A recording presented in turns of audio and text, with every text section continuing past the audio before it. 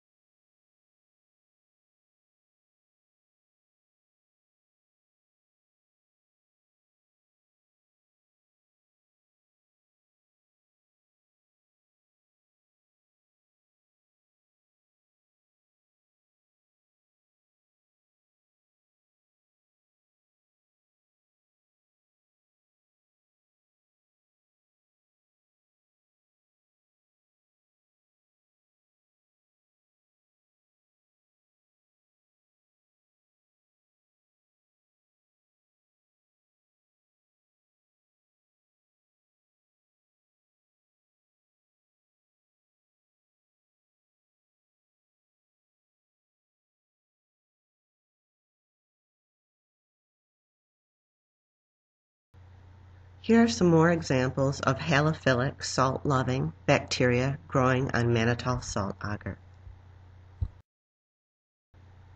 Here are two nasal samples plated on mannitol salt agar. Let's first examine the plate on the left. There is growth, so we know these are halophilic bacteria. We can also see that the growth on this plate has triggered the pH-sensitive dye to change color, meaning that the bacteria on this plate are mannitol fermenters. So that is what I've learned about the bacteria growing on that left plate from the selective and differential properties of mannitol salt agar.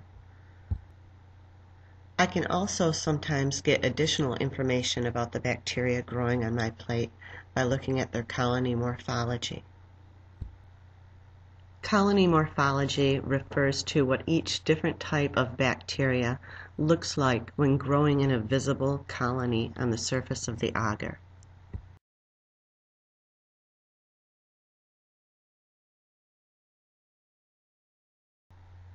When I look at the colony morphology of the bacteria growing on the left plate, I see two main types of bacteria. Towards the top of the plate, above the word nose, are some larger creamy yellow colonies, most likely Micrococcus. And starting on the right edge, then extending towards the center of the plate, are these tiny punctiform colonies. These are the bacteria that change the color of the plate. These are the bacteria that ferment mannitol, and they are Staphylococcus aureus. The plate on the right also shows growth, which means there are halophiles or salt-loving bacteria growing on that plate. But the bacteria growing on this plate are not mannitol fermenters. We know that because the growth did not trigger that change in the color of the medium from pink to yellow this medium remained pink, indicating non-mannitol fermenters, most typically normal flora like Staphylococcus epidermidis. Here is Staphylococcus epidermidis, normal flora that will grow on mannitol salt agar but not change the color of the medium. Here's staph epi from two nasal samples growing in their characteristic punctiform small white creamy colonies. And here's staph epi on mannitol salt agar. These bacteria were streak plated.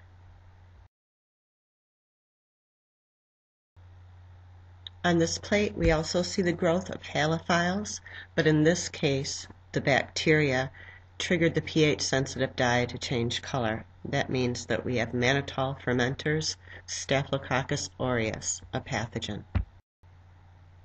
Here's a nasal sample plate prepared by a pair of lab partners. The sample on the left indicates pathogen Staphylococcus aureus, a halophile that will grow on mannitol salt agar and ferment mannitol, triggering that pH-sensitive dye to change color.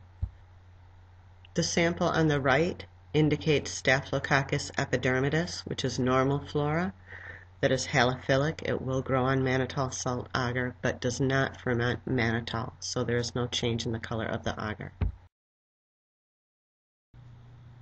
More seriously nerdy, amazing free stuff at scienceprofonline.com. Go there.